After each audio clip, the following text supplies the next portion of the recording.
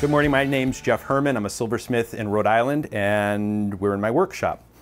I'm going to talk today about how important it is to know how to properly hold a hammer when raising, when planishing, uh, when forming, doing any kind of forming, because what you don't want to end up with at the end of the day is a sore arm, a sore back, a sore neck, uh, sore shoulders, and so this is going to make it much easier for you and it's going to be much more efficient uh, when you're when you're working on a piece. And so this is Argentium vase that I've been working on. And I've got a raising hammer here.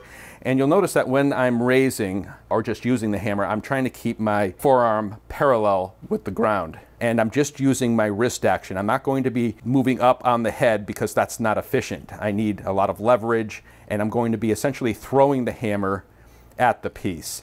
I'm not going to be tensing up. I'm going to be holding this very, very lightly. So you'll notice when I'm raising this, how easy, how almost effortless it looks.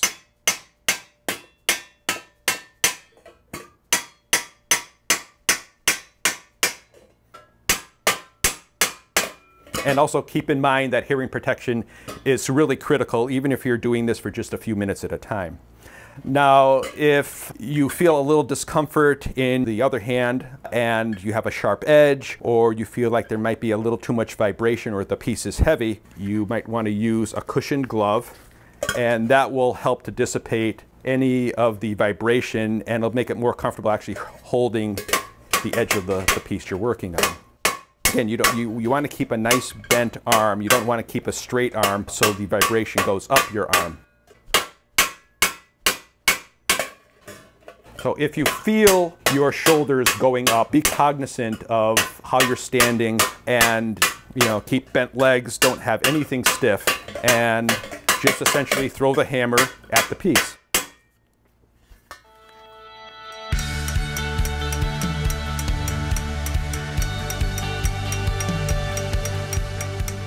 Uh, I'm working on a smaller piece, in this case a baby spoon, uh, that's been down the garbage disposal. I'm going to be reforming the bowl. Uh, you'll use the same technique as uh, what I was using standing up, but in this case sitting down.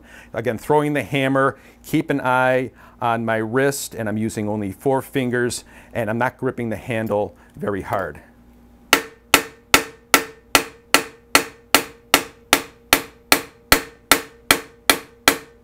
You want to move the piece over the, uh, the steel that you're working on. You don't want to have to keep moving over like this back and forth. Uh, so if you have to reposition the tool, that's better than having to constantly move your body.